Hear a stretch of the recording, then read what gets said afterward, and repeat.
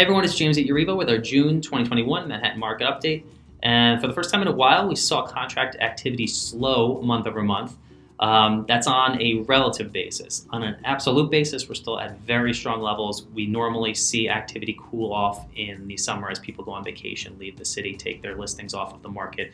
Um, so compared to previous summers, previous Junes, still very active, but we're just coming off of the peak that we saw in April and May. So if we look at the number of contracts signed in June compared to the 2017 to 2019 average, we're up about 51%. And also, we're starting to see a reversal in the uh, the portions of the market by price point that are driving that increase. So, if you remember the last couple months, it was more the higher end that was uh, outperforming. Now it's the lower end, and that's partially driven by the amount of inventory available at each of those price points, which we'll get into. Um, but you'll see here, we used to have a much tighter range in the uh, level of year-over-year performance for the various price points. Um, used to be like 30 to 40% or 40 to 50%, but here we have a range from 26% to 74%. Um, so that under $600,000 price point is really driving the market, uh, at least on a, uh, a relative basis. Um, so we'll see how that continues uh, going forward. But right now we're seeing no slowdown whatsoever, even on a relative basis at the lower end. Um, no surprise with the number of monthly contracts going down. The number of weekly contracts has also gone down, but still very high on an absolute basis. Nothing to worry about there. On inventory, we're plotting around that 7,000. We've been bouncing around that level for four or five months now. Uh, no real signs of that changing. The big test will be after Labor Day. That's normally when we see a lot of inventory come on the market as sellers get back from their vacations and put their uh, their apartments on the market. Um, also, buyers are back, which is part of the reason why the sellers put their listings on the market.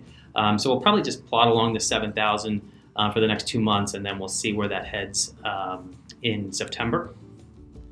So you can see that here, just kind of plotting along. Normally we see that dip, and then it pops up after Labor Day. Um, and going back to the activity by price point, you can see there is record levels of inventory at the lower end, um, and there is lower there are lower levels of inventory at the higher end. So obviously, with more inventory to sell, you're going to sell more of it. So the inventory is driving the the level of contract activity at least to some degree.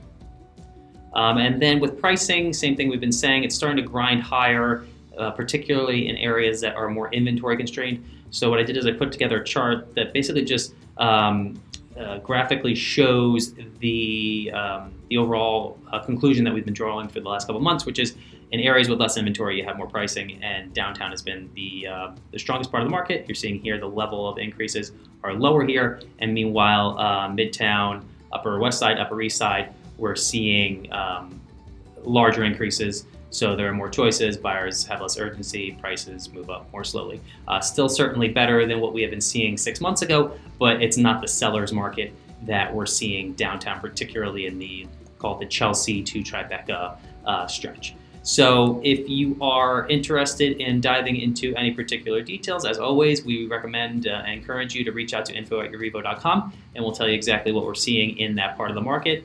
Um, and also remember to subscribe, and you'll get this as soon as we publish this. And we'll see you next month. Thanks a lot. Bye.